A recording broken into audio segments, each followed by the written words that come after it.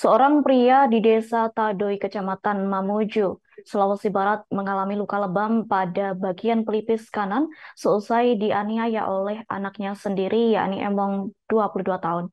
Emong nekat menganiaya ayahnya sendiri karena tidak memberikan uang hasil penjualan tanah warisan.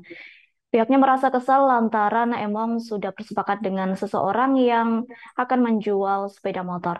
Untuk informasi selengkapnya akan disampaikan langsung oleh rekan wartawan Tribun Sulbar, yakni Abdul Rahman. Silakan untuk laporan lengkapnya.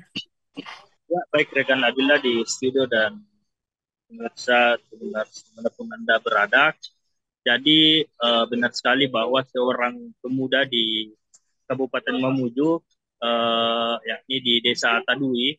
Pemuda ini bernama Emong berusia 22 tahun yang tega menganiaya ayah kandungnya sendiri lantaran uh, tidak diberikan uang hasil uh, jualan tanah warisan yang uh, ada di yang dimiliki oleh uh, keluarga mereka. Namun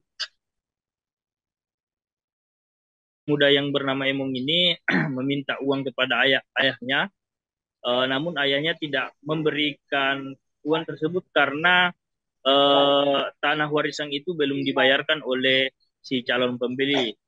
Karena alasan uh, Emong ini meminta uang karena uh, HP-nya atau ponselnya sudah diberikan kepada si penjual motor ini sebagai tanda jadi untuk uh, membeli uh, sepeda motor tersebut.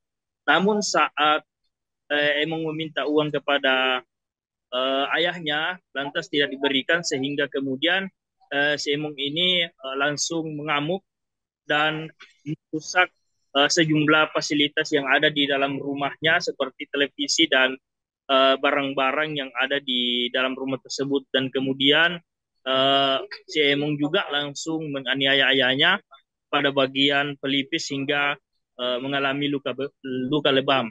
Dengan kondisi tersebut juga, Emong dalam kondisi yang uh, mabuk atau uh, sudah meminum minuman keras sehingga kemudian berani melakukan pengendalian terhadap ayahnya uh, ayahnya sendiri.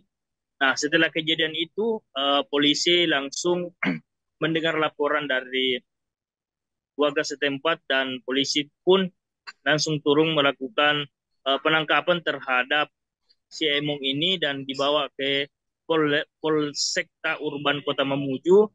Namun uh, pada saat Emong berada di Polsekta Mamuju, ibu dari Emong ini langsung mendatangi Polsek untuk meminta uh, anaknya untuk dikeluarkan dari uh, jeratan hukum yang dilakukan uh, terhadap ayahnya sendiri.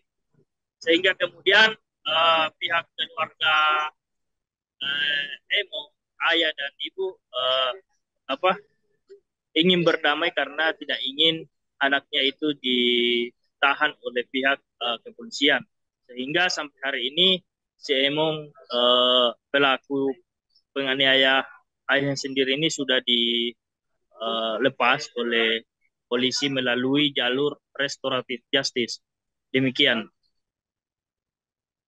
Baik, terima kasih untuk informasi lengkapnya. Silakan bertugas kembali. Tribuners, wartawan kami juga telah menghimpun wawancara bersama Kasih Humas Polresta Mamuju, yakni Ibda Herman Basir. Berikut untuk tayangannya.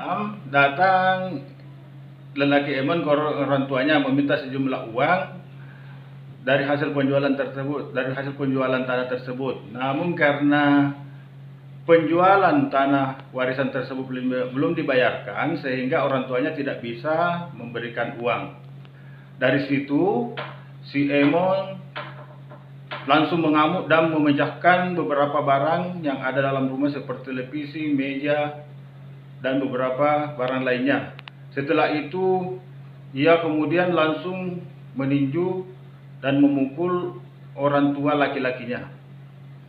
Dari kejadian tersebut, dengan respon cepat, gabungan piket fungsi Polresta Mamuju langsung datang ke TKP dan langsung mengamankan terduga. Download Tribun X sekarang, menghadirkan lokal menjadi Indonesia.